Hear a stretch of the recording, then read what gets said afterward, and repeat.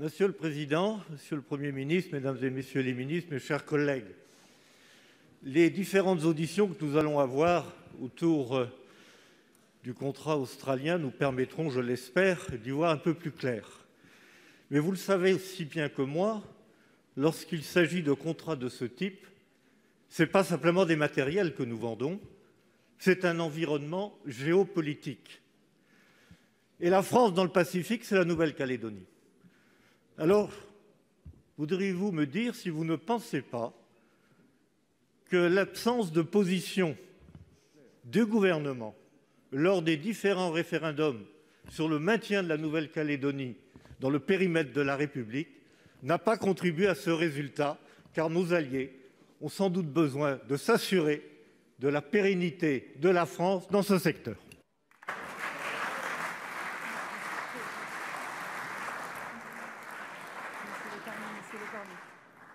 Pour vous répondre, la parole est à M. Sébastien Lecornu, ministre en charge des Outre-mer.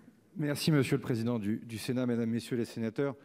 L'État est neutre pour organiser le scrutin. Le gouvernement de la République, lui, peut témoigner d'une orientation, d'une préférence, et le président de la République, en tant que chef de l'État, l'a fait lors de son discours à Nouméa, devant le théâtre de Nouméa. Le Premier ministre Jean Castex, ici présent, l'a fait devant votre haute assemblée dès les premières semaines de sa prise de fonction. Donc je pense que sur les orientations du gouvernement de la République en Nouvelle-Calédonie, les choses sont connues.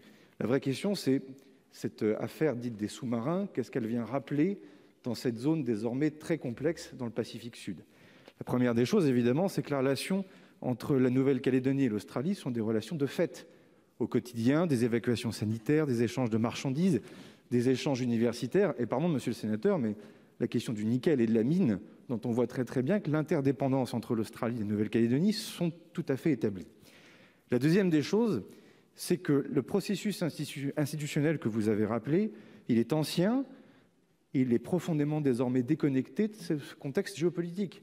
Je vous renvoie aux déclarations du leader indépendantiste Jean-Marie Djibaou en 1985, lorsqu'il indiquait, dans d'ailleurs une interview très construite, intéressante, qu'au fond, la Nouvelle-Calédonie n'avait pas d'ennemis, que la zone était calme et que euh, Kanaki indépendante n'aurait pas besoin d'armée. La guerre froide, au fond, n'a eu que très peu d'impact sur les accords de Matignon-Dino en 88. Le contexte qui a présidé aux accords de Nouméa en 98, au fond, peu d'ingérence étrangère. Donc on le voit bien, la vraie question, c'est que cette balance entre la Chine d'un côté et l'Occident tout entier de l'autre côté, va traverser profondément la société calédonienne. La vraie question maintenant, elle se pose le 12 décembre prochain, c'est est-ce que les Calédoniens affrontent cette question dans la République ou est-ce qu'ils l'affrontent seuls? Et ça, pour le coup, c'est la parole que la France a donnée d'emmener ce processus jusqu'à son terme.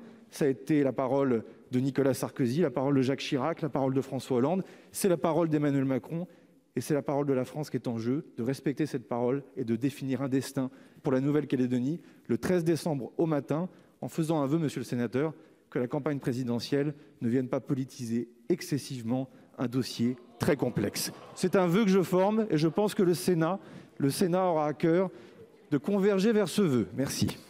Monsieur Delège.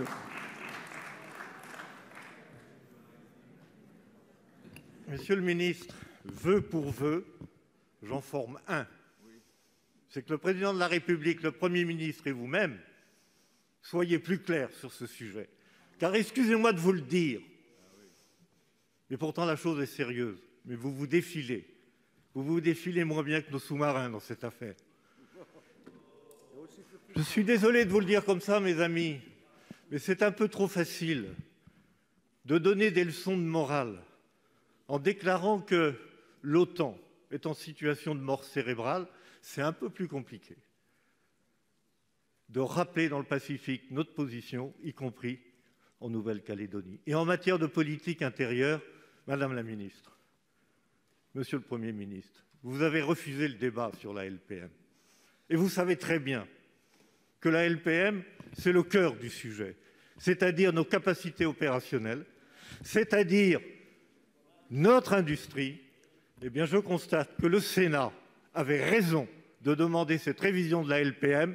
Ça nous aurait permis d'avoir un débat au fond, car vous êtes en train de réussir cette performance merveilleuse du en même temps en même temps augmenter les crédits de la défense et en même temps diminuer nos capacités opérationnelles et affaiblir notre industrie.